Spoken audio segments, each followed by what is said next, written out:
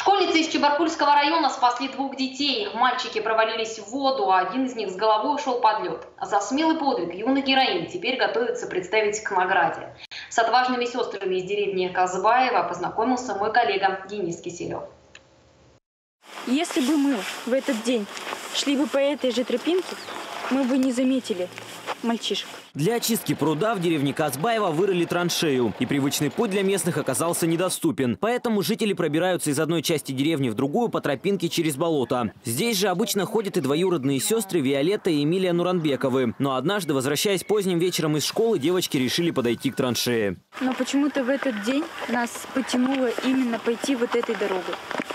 И мы услышали крики о помощи, подбежали к этому месту и увидели, как вон там уже мальчики вообще тонут. Глубина траншеи больше четырех метров, а вода в ней ледяная. Времени на раздумье у сестер не было. Действовать они начали незамедлительно. Один из мальчишек уже начал тонуть. Спустились и увидели двух мальчиков. Арсений, он уходил э, с головой под воду, и Максима. Сначала мы с сестрой вытащили Арсения, потому что он больше нуждался в скорой помощи. Потом мы спасли Максима, вытащили из воды, подтянули за руки. И пока Виолетта оставалась с младшеклассниками, Эмилия быстро побежала домой, но не от страха, а за помощью.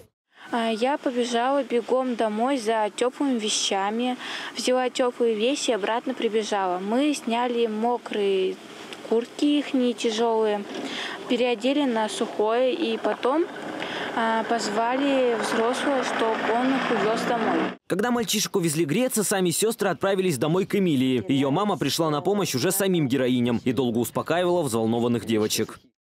Их трясло, плакали.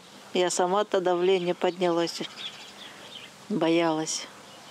Ну, когда вот э, я говорила до этого дня, они приезжали, что кто-нибудь, да, пока не утонет, говорю, вы нам, наверное, говорю, дорогу не сделаете.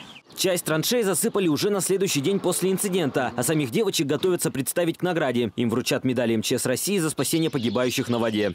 Если бы была такая ситуация снова, мы бы снова кинулись на помощь. Денис Киселев, Андрей Ярушев, ОТВ.